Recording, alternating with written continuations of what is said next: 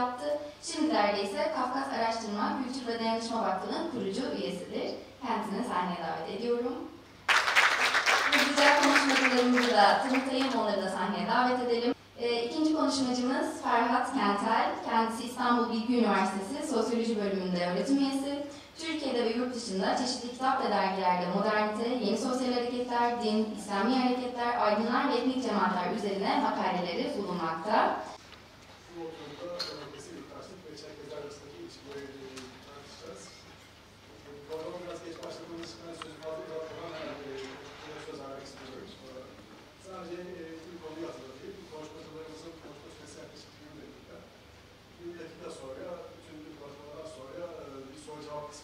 uh, synthetic particles or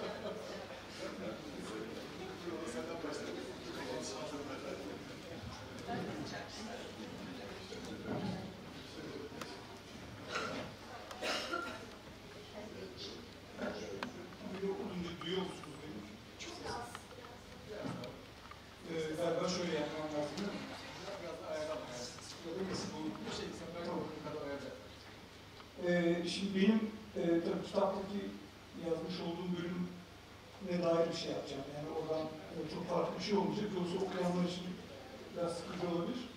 Ama e, derdim biraz e, Türkiye'de kimlik meseleleriyle uğraşırken giderek vardım. Şöyle bir sonuç var. E, yani hiçbir kimlik, hiçbir cemaat, hiçbir kültürel grup e, homojen değil ve bu homojen olmama hali çok e, çeşitli sebeplere dayanıyor. Bunlardan bir tanesi Türkiye Cumhuriyeti Devleti'nde yaşıyoruz. Yani e, işte Orta Doğu gibi bölgede yaşıyoruz ama küresel gitmiyor muymuş? Geliyormuş. Duyulmuyor mu? Duyulmuyor. Bir yerden sonra duyuluyor. Bir yeniden başlıyor. Şimdi duyuluyor mu? Tamam. Ee, yani bu zaten başlıkta biraz söylemeye çalıştığım şuydu. Ee, bir defa şeyimiz bir memleketin vatandaşıyız. Kim olursak olalım. Yani Ermeni, Kürt, dindar, dindar olmayan, işte Çerkes, Boşnak, göçmen. Ee, ama bir yandan bunun, bu vatandaşlığın, bu yurttaşlığın altında, ulus devletin altında bir yandan da e, ait olduğumuz bir takım kültürel anlam dünyaları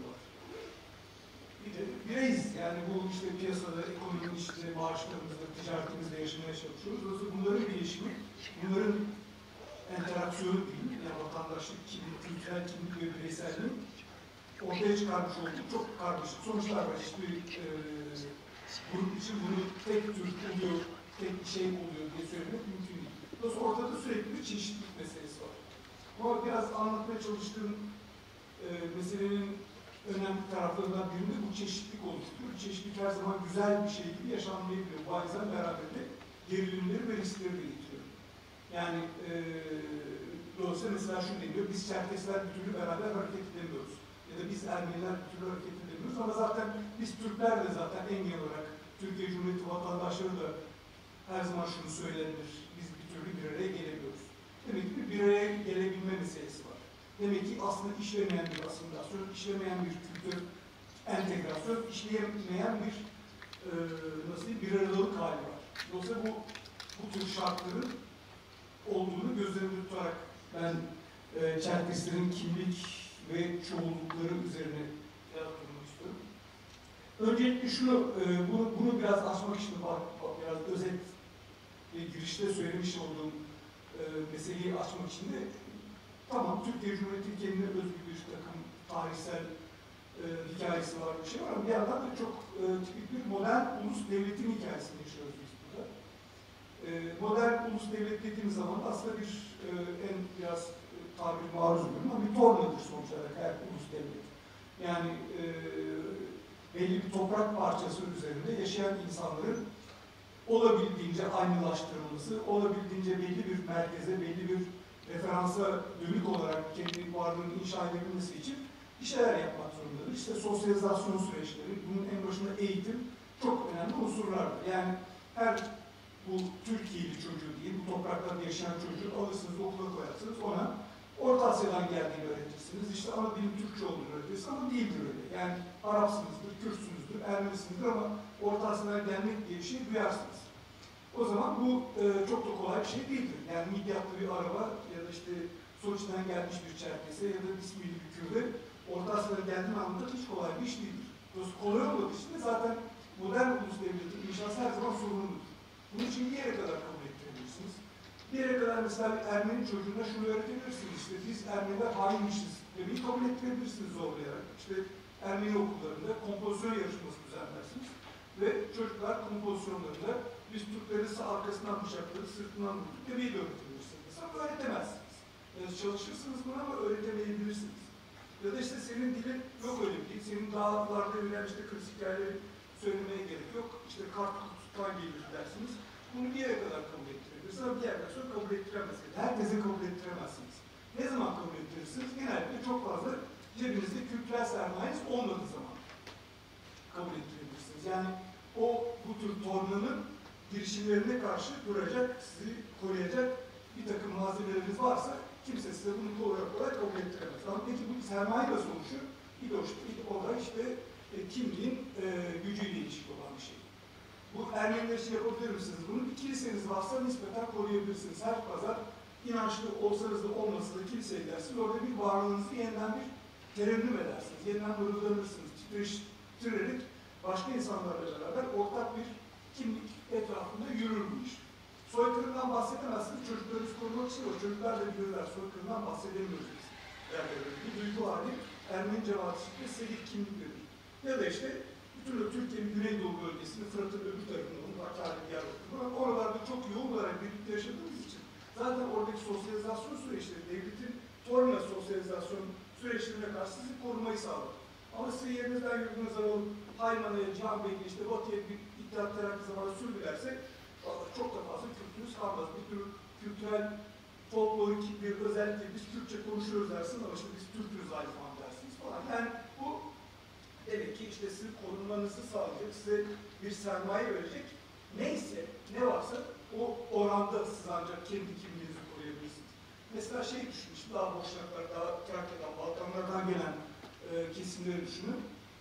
Toprağınız yok artık. Ayağınızı yere bastığınız bir yer yok. Ağacınız, dağınız, tepeniz, dereniz, şehriniz, oradaki camileriniz, kültürel varlıkların neyse onun hepsini uzaklaşıp bir yere gelmişsiniz. Ne yapacaksınız? Burada nasıl tutunacaksınız? Burada tutunmanız Saraybosna'da ya da işte Varna'da ya da bir Filme'de tutunduğunuz gibi bir şey olmaz. Dolayısıyla buradaki haliniz siz tabii ki her şeyden evvel bütün o oradan köklerinizden kopmuş olmak, topraktan kopmuş olmak, yerinizden anlamlı referanslar veren, anlamlı işaretler veren dünyadan kopmuş olduğunuz için burada o torbanın etkisine çok daha maruz kalırsınız. Dolayısıyla bir Bulgaristan göçmeni Türk, Jivkov döneminde nasıl isimleri değiştirirken, kriz yaşadığını bilirken, buradaki bütün toprakların, işte bütün o alın yukarıdan aşağı başları işte Türkiye'nin herhalde ortadan yarısını sağ tarafına bakın. Bütün o dereler, tepeler, şehirlerin isimleri nasıl değiştirildi? İsimler nasıl değiştirildi? Bu takım isimler nasıl kabul edilmedi? Bir Bulgaristan'dan gelen bir Türk göçmen bunu anlayamayabilir öyle. Yani çünkü onun esas meselesi Türkiye'de var olmak, Türkiye'de olmak için o çok daha kolay teslim olur o tornavida mekanizmaları. Ama bir Türk buna direndiği için Bulgaristan Türk'ünün bunun karşısındaki aldığı tavır aynı Türk devletinin aldığı tavır gibi. Ama onlar teröristler mesela. Dolayısıyla ne oldu? Bulgaristan'dan gelen, Kürt bölgelerinde yaşayan Kürt, Ermeni, Çerkesya'dan gelmiş olan bir Çerkes'in hikayelerinin bir taraftan ortak bir tornelle hikayesi var. Bir ama her birinin kendi kendi ayrı kendi hikayeleri var. Dolayısıyla bu biraz nasıl şöyle bu faslı şunu da özetleyebilirim. Ulus devletin yaratmış olduğu sonuçlar hiçbir zaman tek düzey, tek boyutlu bir hikaye yaratmazlar. Bu Fransa'da da böyledir, Sovyetler Birliği böyledir, Kore'de de böyledir, Çin'de de böyledir. Her halükarda bir yerde bir takım patlaklar verir. Ama daha da önemli başka bir sorun var belki. Ya da daha önemli demek belki abartı önemli. Ee, bu ulus devletimiz bu mantığına ne zaman girdik? İşte 1989 herhalde miladi bir tarih sayılabilir değil mi? Fransız devrimi. İşte akabinde e, Tanrı adına savaşmayan, Tanrı adına bir tür merkezi bir anlam inşa etmeyen, edemeyen artık insanlar için Fransız halkı adına savaşmak, duyguları Fransız halkının o kelimeler etrafında buluşturmak çok daha önemli oldu. Ve o, o aynı zamanda işte bütün kapitalizmin, sanayi toplumunun, ilerlemenin, bilimin bu tür bir ileri dönük, ilerici, tırnak içinde ilerici bir dünyanın inşası içinde yeni bir rüya belki inşa edildi modern zamanlarda. Yani yeni, daha dini olan, geleneksel olan ya da işte metafizik, metasosyal diyebileceğim bir takım alanlarının çok daha içinde yaşadığımız toplumun, dünyanın referanslarına inanır oldu bu modern ulus devletleri. Bu topluca bütün dünyaya kasıp kavuran bir inançtı. Ama aynı zamanda belki bugün aynı yerde değiliz. Bu, o gün şöyle de diyorduk mesela. Bütün bu dinler falan kalkacak ortadan. Artık gerek kalmayacak bu şeyler. Çünkü hep beraber zaten ilerleyen işte dünya geleceğe koşturan, uzaya koşan, ay fethine koşan falan denizlerin altında bilmem kaç kat inen bir rüyaya doğru giden insanlar iken bugün bu rüya artık sona erdi. Ya parantez kapandı belki de. Yani bugün artık eskisi kadar inanmıyoruz. Geleceğin bu kadar mükemmel falan olacağına inanmıyoruz. Dolayısıyla o yüzden din ortadan kalkacak diye iddia edilen bir iddia eden bir rüyanın bugün doğru olmadığını görüyoruz. Bugün çok daha dinlerin çok daha patladığını görüyoruz. Hatta bu dinlerin modernliğin milliyetçiliğini de devşirerek din olduğunu anlamaya başlıyoruz. Yani İslam dediği şey ümmetti. Pakistanlısı, Arabı, işte Kürdü, Türk'ü falan fark etmiyorlar. Bugün çok daha Türklükle örtüşmüş bir, milliyetçileşmiş bir ya da dinselleşmiş bir milliyetçilikle beraber görüyoruz. Muhtemelen o ulus devletin, modern devletin iddia etmiş olduğu o, o ileri dönük, işte geleceği keşfetmek üzere olan modern dünya artık böyle bir yer değil. Ulus devlet bir yandan hala çok inanılmaz gözünü yapıyoruz ama artık ulus devletin ekonomik anlamda hiçbir sınırı yok neredeyse. Sadece yerel otorite olarak bir devlet var. Sizin işte acele kamulaştırmayla incir tarlalarınıza, işte bilmem bahçelerinize el koyuyor. Oraya jeotermal santralini dayıyor. Bunları şu anda içinde çok sıcak bir şey hissettiğim bir araştırma içinden çıktığım için söylüyorum bunları. Dolayısıyla siz herhangi bir şeyi ekonomik aktör olarak işte siyaset yanınıza alarak, devletle yanınıza alarak her türlü şey yapabilirsiniz. Dolayısıyla bu eşitsizliğin çok daha küresel ölçüye çıktığı, sorunların çok daha küreselleştiği bir dünyada çerkez olmak demek. Yani bu e, bunun şuna dikkat ediyorsunuz herhalde, yani kimliklerden bahsediyorum ama sadece Çerkeslerden bahsetmiyorum, Çerkesler derken aslında herkesten bahsediyorum. İkinci mesele, yani bu modern ulus devletin genel e, izlemiş olduğu güzergahı yanı sıra ikinci bir mesele, benim çok daha belki sosyolojik olarak ya da sosyolojik teorisi olarak çok daha fazla e, zihnimi açtığını düşündüğüm bir e, perspektiften duygu sosyolojisine baktığım zaman da öyle bir sosyolojiyle bu Türkiye Cumhuriyeti tarihine, vatandaşlığın inşasına baktığım zaman tabii orada e, inanılmaz bir derya gibi bir e, düşünme alanı var. Onu da şöyle söyleyeyim. Şimdi biz modern Türkiye Cumhuriyeti bağlamında özellikle söylüyorum. Biz e, modern ulus devletle birlikte nasıl bir e, dünya ettik? İşte eşitlik olacaktı, dayanışma olacaktı, ilerleyecektik. İşte kökenimizin ne olması önemli değildi. Türk ulus devleti başka bir kardeşlik, başka bir vatandaşlık düzeyinde birleştirecekti.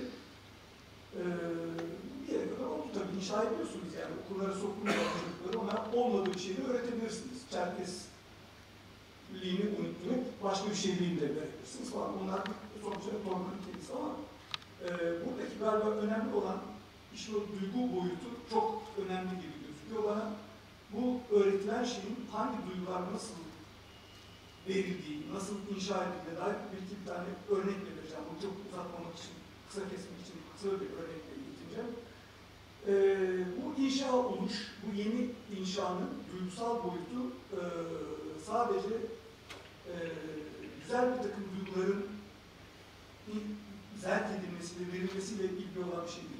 Yani biz Türkler ne kadar iyiyiz, ne kadar güzeliz, ne kadar güçlüyüz, biz hep mutluyuz, işte dağlarımız, bayırlarımız, nehirlerimiz, insanlarımız, folklorumuz falan olan bir şey değil. Bu inşaatı muhtemelen bütün herhalde, bütün ulus devletlerin inşasında buna benzer bir şeyleri bulmak çok kolay.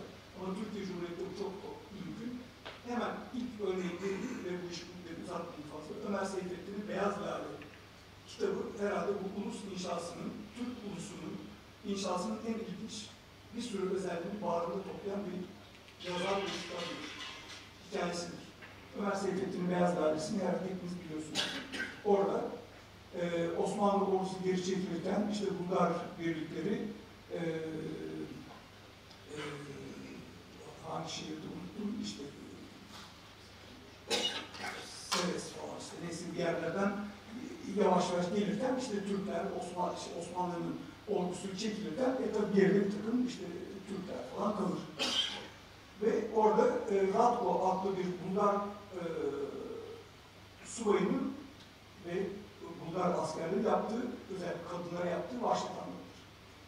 Bu vahşet anlatılırken işte Bulgar subayı Radko bir de e, Beyaz Lale adını ver, Lale adlı bir kadına e, her türlü e, vahşet duygular, başka kadınlara vahşetleri, tecavüzler, kanun işte karınların çocukları, bebekleri fırınlara atmak gibi. Yani e, olayın ayrıntısına çok girmeyeceğim. E, ama ne, neredeyse pornografik diyebileceğim. İnanılmaz bir şiddet anlatısıyla e, Ömer Seyfettin bize bütün bu manzarayı sonuna kadar tarif ediyor. Lale e, genç Türk kızı işte teslim olmamaya çalışır ama öldürür. Şimdi bu e, Ömer Seyfettin bildiğiniz gibi e, bir tarafıyla Çerkes olan bir insan. Ömer Seyfettin bunu e, anlatırken aslında Balkanlarda bulunmuş bir insan. Muhtemelen bir takım şiddet falan çok karşılaştı ama bu anlatı belli ki içinde başka bir hikayeleri de anlatıyor. Çok travmatik bir hikaye anlatıyor. Bu travmatik hikaye gerçekten doğru mu yanlış mesele ama Ömer Seyfettin travmayla baş. Ömer Seyfettin bununla beraber anlatırken aslında başka bir kimliğin inşasına katkıda bulunuyor. Ömer Seyfettin aslında Çerkesli değil, Türklüğü anlatıyor. Türk kadın, Müslüman kadın gibi birilerinden bahsediyor. Ama e, Ömer Seyfettin tek değil. Tekin Alp bir Yahudi, Ziya Gökalp bir Kürt. Bütün bu Cumhuriyet'in inşasındaki bütün buna benzer bir takım yazarları, çizerleri düşündüğünüz zaman aslında inan, çok ilginç bir şekilde bir şeyi unutup başka bir şey kurma çabası var. Ulus devlet unutturuyor, başka bir şeyi inşa etmeye çalışıyor. Unutulanların başında tabii ki işte o etnik, dinsel falan bir sürü başka özellik. Dolayısıyla bu özelliklerin unutuluyor olması, yeni bir şey kuruluyor olması, lay lay lan, güler yüzlü, aman dönümüzde işte artık bunu bırakalım, bununla evlenelim, hadi atlayalım, kimimiz bolsun diye olan bir şey değil. Bu sonuna kadar travmatik olan bir şey. Bu sonuna kadar dehşet bir duygusal sermaye bırakan bir hikaye. Duygusal sermaye kelimesinde kavramın özellikle altını çiziyorum. Bu ulus devletin, Türkiye Cumhuriyeti ulus devletin, dolayısıyla Çerkeslerin, dolayısıyla Lazlıların, Türklerin, Ermenilerin hepsinin inşasında bu anlamda gayet yaralı bir duygusal sermaye olduğunu istiyorum. Dolayısıyla yaralı bir duygusal sermayeye sahip olan Çerkeslerle zaten başkalarıyla birlikte yaralı bir ulusal sermaye yaratılmış olan bir topluluktan, bir toplumdan, bir ulustan bahsediyorum. Dolayısıyla böyle durumda nasıl Çerkes olabilir? Böyle durumda eğer bir arada yaşamıyorsunuz Çerkes olamazsınız. Çerkesliğinizi bir tür folklorik bir özellik olan işte bir referans olarak bulundurursunuz. İşte bazen sadece ne bileyim işte e, bir takım işte tamadeler, işte bir takım şeyler, küçük e, Çerkes folklorik özellikleri bir araya getirsiniz yaparsınız. Daha yoğun şekilde işte Manyas'ta şurada burada bir arada yaşıyorsunuz, biraz daha devam eder. Ama dağıldıysanız çok da fazla Çerkes'i öğrenemezsiniz. Çerkes'i öğrenmek zaten neredeyse ulus devlet tarafından yasaklanmıştır. Konuştuğunuz zaman ceza yersiniz. Aynı işte başka diller, Türkçe falan konuştuğunuz gibi. Dolayısıyla bu e, ulus devleti inşasındaki bu duygusal inşanın açıkça bir travma olduğunu söylemeye çalışıyorum. Böyle travmatik bir ortamda kim olursanız olun kolay kolay olamazsınız o olduğunuz şey. Türk de olamazsınız, Çerkes de olamazsınız. Sürekli olarak ama bir kurguyla baş etmek zorunda kalırsınız. Bu da bence e, yani şeyin e, Çerkesliğin Türk ulusal kimliğiyle ilişkisi, entegrasyonu, bir aradalığı falan konularında gayet ciddi sorunlar e, ortaya çıkıyor. Dolayısıyla kimliğin inşasında, Çerkes kimliğinin, ama bunu da bizzat altını bir kere daha çizerek söylüyorum, Türk ulusal kimliğinden bağımsız olmadığını bu ikisinde, yani üçünün de, dördünün de, beşinde travmatik bir takım özellikler taşıdığını söylemeye çalışıyorum. Hocam, toparlamaya çalışacağım. Ee, şimdi bu aslında evet biraz toparlamayı hızlandırmak için ee, biraz da oradan sonuca doğru. Ee, ee, şimdi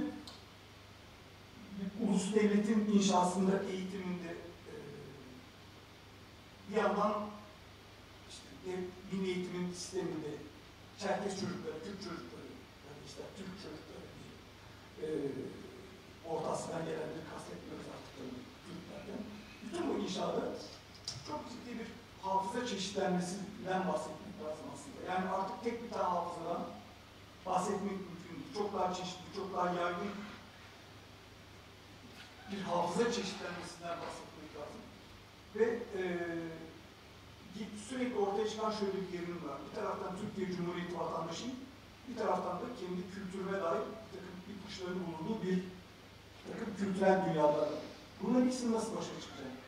Galiba Kürtler, Çerkesler, Boşnaklar, Rumlar, Ermeniler, kim olursa olsun hepsinin e, önünde duran böyle bir sorun var. Bu ikisi nasıl başa çıkılacak? Muhtemelen bunların hiçbirisi tam olarak başarıyla e, sağlanamıyor. Çerkesler de o yüzden zaten topyekun homojen bir grupta olmadığı için işte bunu Maraş'ta yaşıyorsanız başka, İstanbul'da yaşıyorsanız başka, köylü olduğunuz zaman başka, şehirli olduğunuz zaman başka türlü yaşayabiliyorsunuz. Bunun e, yaratmış olduğu sonuç e, en basit ifadesi de bunlardan çok artık daha fazla uzatmayacağım, biraz toparlamak istiyorum. Çerkeslik denen bir şeyin e, homojen bir şey olmadığı, çok daha çoğu, e, kendi başına aslında çok önemli gücü de olmayan bir varlık hali olduğunu söylemeye çalışıyorum. Yani Çerkeslikler var artık.